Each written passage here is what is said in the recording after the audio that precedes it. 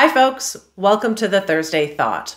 This week's topic affirmations. Now, before you click away and think that I've gone a little like woo for you, I think affirmations are actually a much more powerful and effective tool than many of us give them credit for.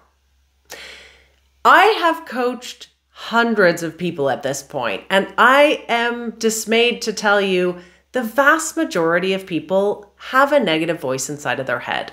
And that negative voice tells them often that they aren't good enough, that they are going to make a fool of themselves, that they're scared in this situation, that they're going to get found out for being the stupid, not effective, not up to speed person that they should be.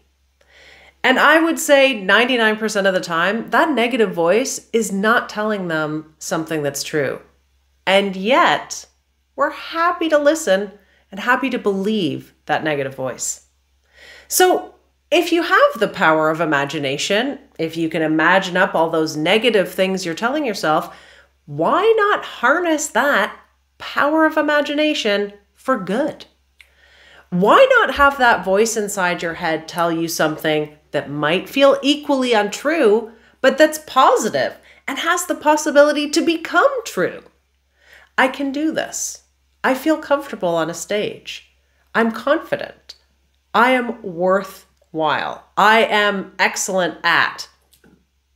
So many studies have actually proven your brain cannot make the distinction between truth and fiction. So why not feed it fiction that can help you? My business coach several years ago encouraged me to write affirmations. And when I say encouraged, it was more like forced because I didn't really believe her. And she made me write affirmations about what I could become. And it was so painful for me to think and write them. And I recently found that journal where I wrote those affirmations, and they are laughable now. Because not only are they true, they are more than true.